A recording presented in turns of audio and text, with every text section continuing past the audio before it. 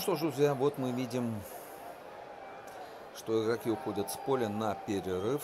И мы продолжим, как только начнется у нас второй тайм. Ну что ж, ждем всех у экранов.